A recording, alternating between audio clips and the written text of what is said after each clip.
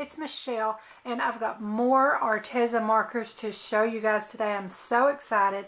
These are the watercolor real brush pens and they are now also available in that travel bundle with this wonderful case just like the one I showed you guys before with the alcohol markers in it but this one has the slots sized to fit the real brush pens and it comes with 96 real brush markers. So I'm going to take this packaging off and show you guys this wonderful set. I'm so excited about getting this set. I wanted to show you guys not only because of the travel case and everything, but also I have been working more and more with the Real Brush pens and learned a little bit more about how to work with them and I'll go over some of that with you guys. So we've got the long strap again, just like on the other one I showed you guys. And the clips with the Velcro closure. And again, you can see all of your markers in there. We've got 96 and we've got a slot in the top here and it comes with a water pen. And that's so you can just put water in there to help thin out and give a more watery watercolor look. And we've got the Velcro sides again so that we can open it out and flip through the pages of markers. These are wonderful. And as you can tell, these are smaller slots and it holds more. I think it holds 108. So you've got your 96 markers plus 12 empty slots. And just like the other case, this middle section does Velcro out as well. So you can take that and use it separately if you want to. So versatile. I just absolutely love this case. And the color options are wonderful. You've got so many color options. If you can see the ends there just to get an idea of how many like fleshy tones here, yellows, oranges, into some corals and burgundies, almost brown colors. Then over here we've got reds, pinks, and purples. Flip the page. More purples into blue, lighter blues right on into green. And look how many different color tones you've got. Deeper greens into the browns. Over here we've got grays and blacks. So just about any color you could dream of is in there. And these blend together so well that you're probably going to be able to create even more colors than what you've got here. Okay, so I have filled my water pen with water from the sink, which just unscrews right here so that you can fill this portion here and screw it back on. This one is a little different. It screws in the reverse direction, so that was a little unexpected. And then just take the cap off there and you've got your brush. I've stamped out some flower images here that I'm going to color for you guys. These are images from the Simon Says Stamp Delicate Flowers stamp set that came in the May 2019 card kit. And I apologize I never got to do a video with that kit doing a card project, but I'm going to use the images here, for example, with my Arteza markers. So I told you guys that I had been playing around with the watercolor markers and I've learned a lot about them. One of the things that I have learned that to greatly, greatly improve the performance of these, you need to use smooth cardstock. I've been using the Strathmore Bristol Smooth Cardstock and it works wonderfully. These colors just flow so loosely on the surface of this smooth cardstock and you will not believe how much of a difference it makes. You can take these same markers on a different cardstock and they're not going to perform as well. If they soak in immediately into the cardstock, then you're not going to have time to move it around before it does. This is so smooth that it moves around on the surface and gives you plenty of time to blend and get exactly what you want before that sets on you. Okay, so we're going to color some of these images, and I've chosen a few color families here.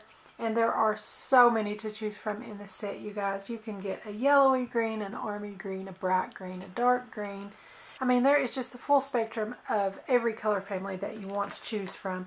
So I just chose some that I was kind of fond of to show you guys today. I've got acid green, which is a very yellowy green for highlighted areas in my leaves. And for my medium green, I chose pea green and olive green for my darkest. And something else that I have learned about these markers is whereas with alcohol markers, I like to go from light to medium to dark, back to medium, back to light, and kind of do the blending like that. You don't have to go forward and back through your lights and darks like that. I've found that I like to start with my dark and then work toward medium and then light. The light blends everything out and that's all you need. So I'm going to start with my darkest one and with your darkest one you don't want to put much. You just want a little bit because I have learned that this dark color goes very, very far. So you can see that I'm just coloring a little bit of my leaf there at the bottom. I'll go ahead and complete this one leaf to show you guys. So now I'm going in with my pea green. And you see how it just pulls that olive green into it. And then I'm going to blend that all out with my acid green. And that just pulls that color in. And you can blend it the whole way. And look how it pulls all that color. As far as you want to pull it you can.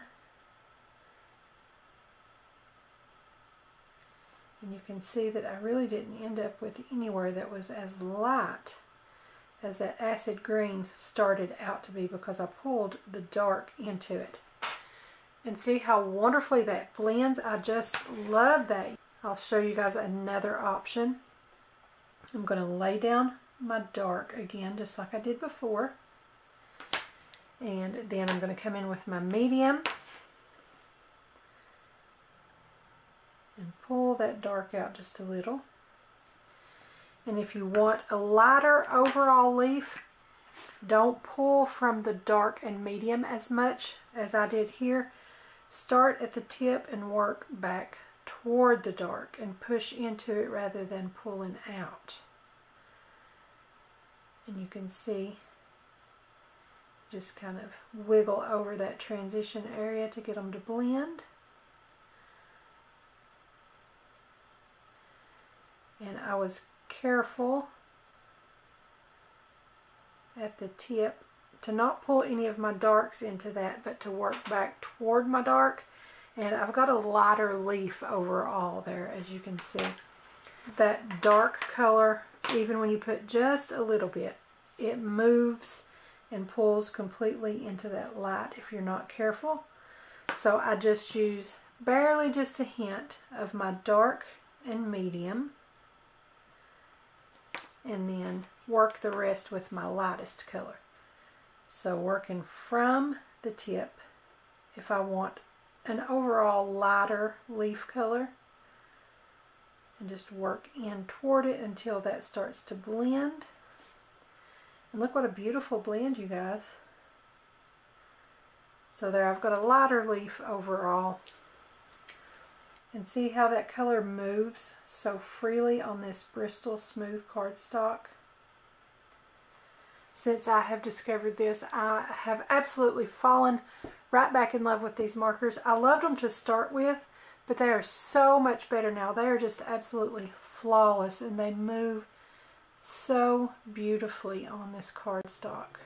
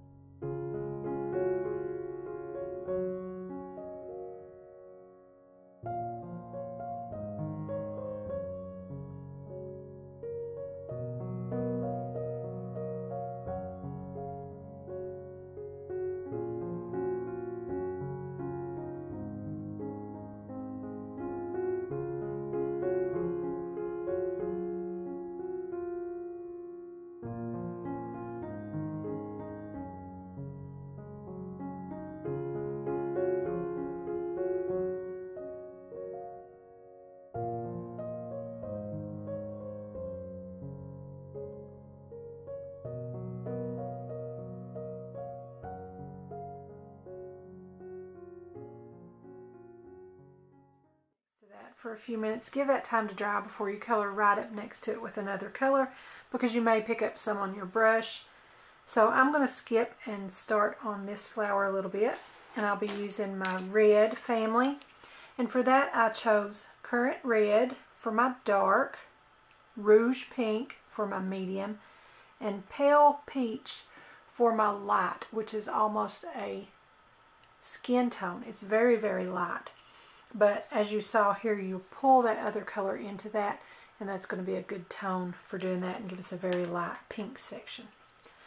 So I'm going to start out with one petal here in the middle. I'm just going to put my dark color down at the innermost part of that petal. And then my medium color and pull that out. If you want, you can just scribble them together to work that transition area.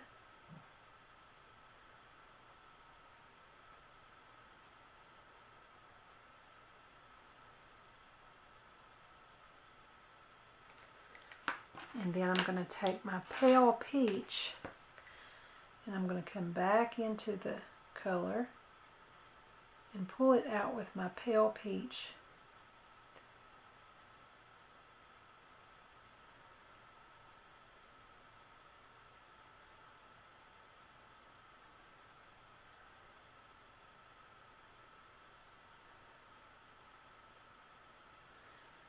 can kind of push it back into the dark if you want to in some of the areas to get a lighter look. Come back in with the dark. Like right over here, I want to darken up this side so that it'll look like it's kind of the bottom side of the petal. And then just blend that out with my lighter color.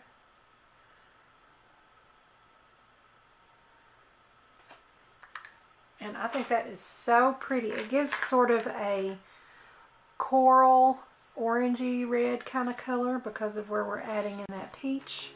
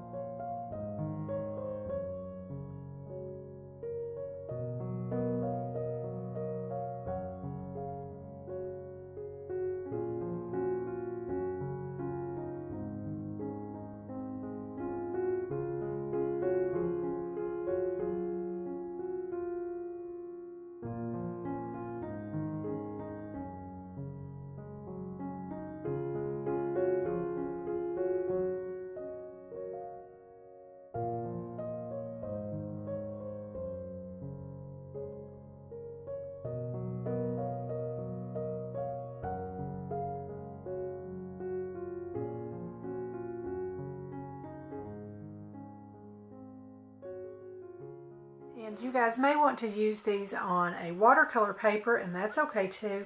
But like I said, I did find that they blend so much easier on this Bristol Smooth cardstock. But on the Bristol Smooth cardstock, I try not to add much water because it's not watercolor paper. It's not made for a lot of water. So I just use the markers and blend them with each other. And I do use some water sometimes for some blending, but not much. Okay, I'm going to go ahead and try to color my bud here. I'm going to do that in yellows. And for my yellow family, I chose acid yellow. Again, a very light yellow. For my medium is bumblebee yellow. And then I have sunset yellow, which is kind of maybe a little bit of brown to it. So that would be good for the shading areas. So I'm going to come in with my darkest for my shading areas. And I just want to put it very lightly because as we learned, the darker color goes far. And I'm just going to get it in those areas that would be shaded.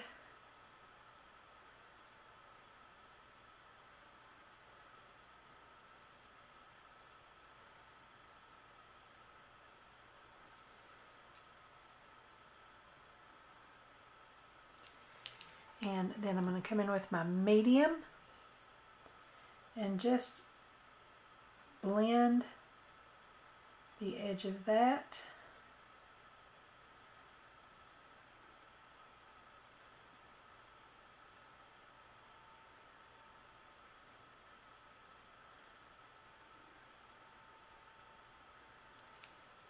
And now for my lighter yellow.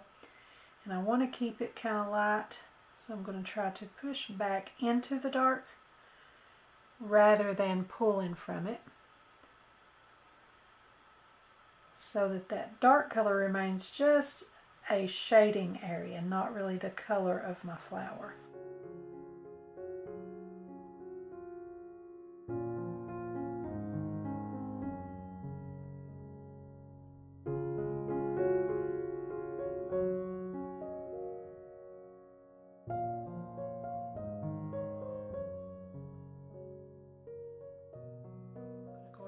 Some yellow colors to the center of my red one.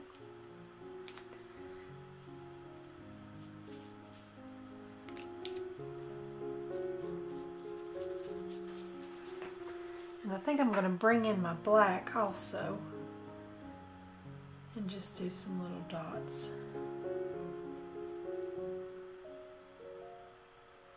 And that color was still wet when I went in. So it will blend into it a little bit which is fine. If you want very crisp black dots wait until the yellow has dried. It blends out and flows a little bit but yet you can still the yellow just vaguely behind them. and now I'm going to try a purple. And I've got for my dark orchid purple my medium is Wisteria Purple and my light is Lavender.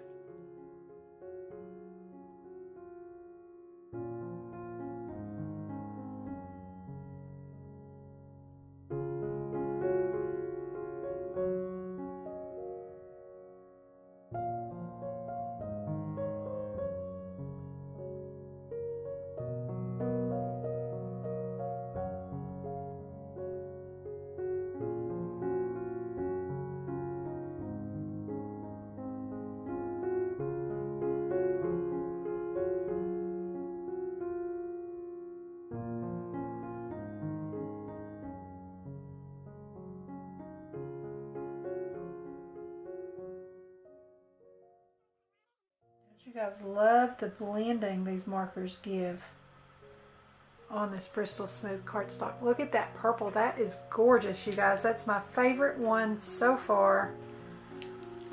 Okay, so this one we're going to do orange. And I know that our red turned out kind of orange toned, but it's more of an orangey red. And this one's just going to be orange. So for my light, I've got Flamingo Pink, and you can see, even though it says pink, it is a very orange color. Cadmium orange, that's my middle tone. And for my darker one, I chose more of an orangey brown for those shaded areas. And that is called Autumn Red.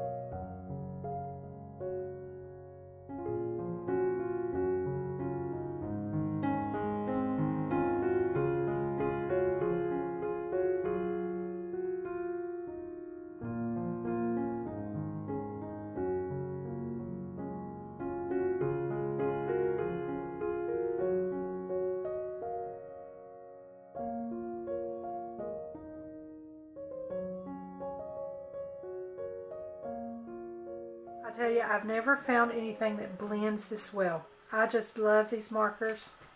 And I'll have the link in the description below for you guys so you can go and get this set of markers for yourself. And I'll have a link for that Bristol Smooth cardstock as well. Don't forget to subscribe to my YouTube channel. Give me a like over on my Facebook page. And be sure to join our Facebook group, Crafty Minds. Also follow me on Pinterest and Instagram. And don't forget to visit my blog. I'll have the links to those in the description as well. So be sure and check them out. Thanks for watching. I'll see you next time.